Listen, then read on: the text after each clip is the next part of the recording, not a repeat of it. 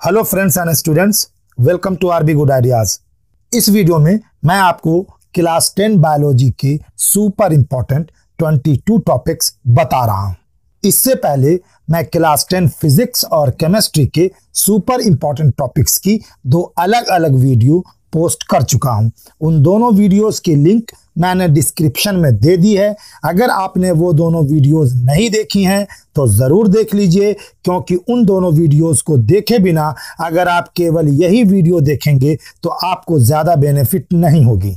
Biology के इन 22 topics को ready कर लेने के बाद, इस सब्जेक्ट से आपका एक भी क्वेश्चन मिस नहीं होगा, और ना आपको किसी सजेशन का सहारा लेना होगा।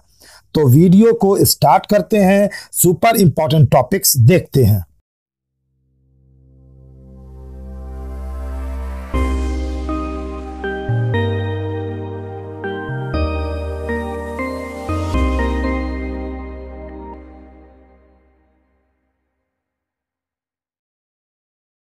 पहला चैप्टर है लाइफ प्रोसेस। इस चैप्टर से आपके लिए फाइव टॉपिक्स सुपर इंपॉर्टेंट हैं।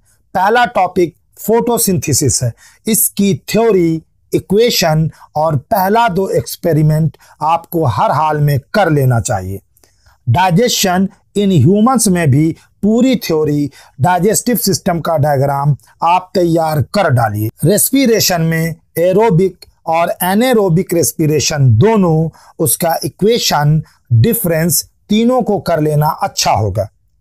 ह्यूमन हार्ट का स्ट्रक्चर फ़ंक्शन और डबल सर्कुलेशन के साथ साथ हार्ट का डायग्राम भी प्रैक्टिस करना बहुत ज़रूरी है। ट्रांसपोर्ट इन प्लांट्स में थ्योरी जाइलम और फ्लोएम का डिफरेंस ट्रांसपीरेशन स्टोमेटा का डायग्राम डिफ्यूजन सबको करना इंपॉर्टेंट है।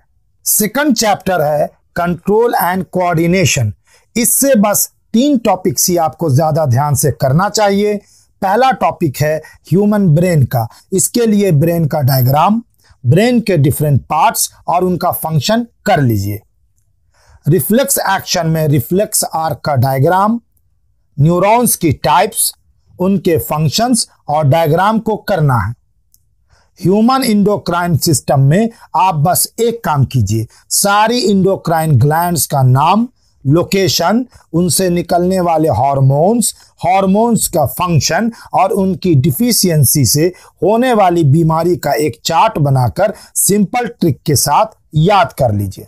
हाउ डू ऑर्गेनिजम्स तीसरा लेसन है। इस लेसन से आपको फोर टॉपिक्स ही करना चाहिए। पहला टॉपिक है modes of asexual reproduction साथ ही आपको ये कंसेप्ट क्लियर होना चाहिए कि रिप्रोडक्शन क्या है और यह डिफरेंट स्पेसीज के लिए क्यों ज़रूरी है। एग्ज़ाम पॉइंट से प्लांट्स में सेक्सुअल रिप्रोडक्शन का प्रोसेस सुपर डुपर इंपॉर्टेंट है। साथ ही हर इवेंट का डिटेल्ड नॉलेज भी बहुत ज़रूरी है। इसलिए स्ट्रक्चर ऑफ़ फ्लावर और प्लांट्स में फर्टिलाइजेशन का टॉपिक आपको करना ही। Male and female reproductive system तीसरा टॉपिक है। दोनों का डायग्राम और कंसेप्ट रेडी रखना है। इससे शॉर्ट आंसर भी पूछा जा सकता है और वेरी शॉर्ट भी। बर्थ कंट्रोल एसटीडी यानी सेक्सुअली ट्रांसमिटेड डिजीजेज और स्पेशली एड्स पर फोकस ज़रूरी है।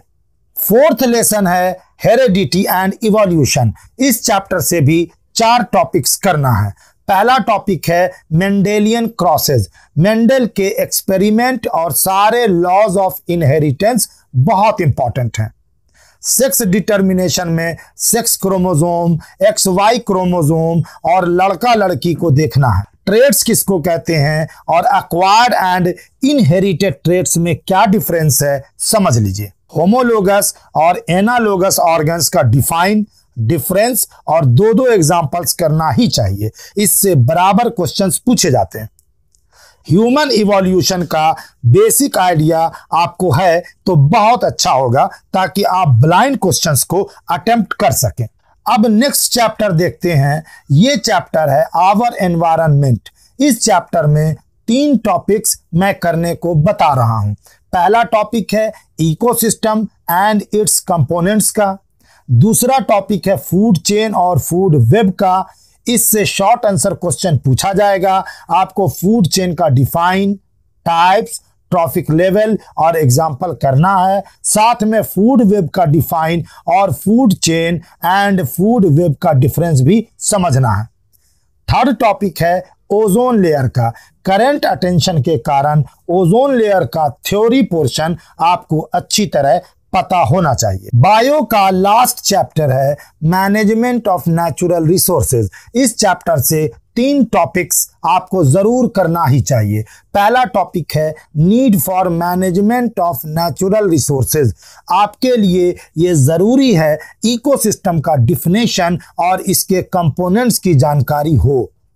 दूसरा टॉपिक है importance and conservation of forest आपको ये अच्छी तरह पता होना चाहिए नेचुरल रिसोर्सेस का कंजर्वेशन क्यों ज़रूरी है? साथ ही फॉरेस्ट और वाटर को कैसे कंजर्व किया जा सकता है? जैसे चिपको मूवमेंट तो आपने क्या ही लास्ट टॉपिक है steps to make water available to all इसके साथ सस्टेनेबल डेवलपमेंट का आइडिया भी आपको पूरी तरह क्लियर होना चाहिए। बायोलॉजी में इतना ही बहुत ज़्यादा है, मैंने आपको अच्छी तरह समझाया है, फिर भी कुछ पूछना हो तो कमेंट बॉक्स में पूछिए।